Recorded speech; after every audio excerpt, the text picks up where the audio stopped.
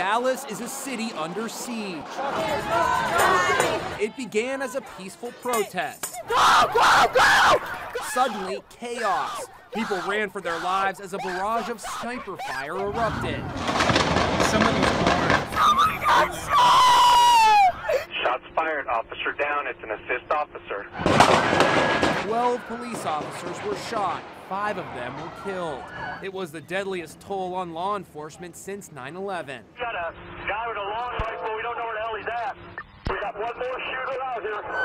Police rushed to the aid of their fallen colleagues, taking cover behind patrol cars. We got an open window. We got rifles hanging out.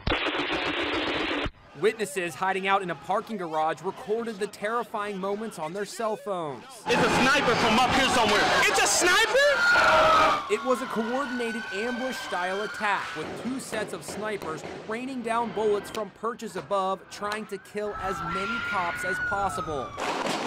Ambush reads the front page of the Dallas Morning News. This gruesome video shows one of the suspects firing off shots with an assault rifle while hiding behind a pillar.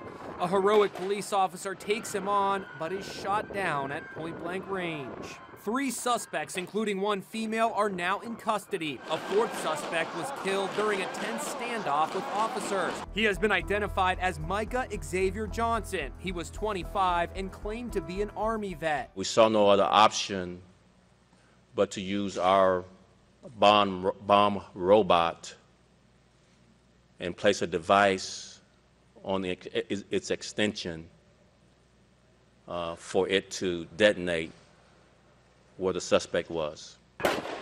Police say the rampage was fueled by anger over the recent police shootings of two black men. He wanted to kill officers.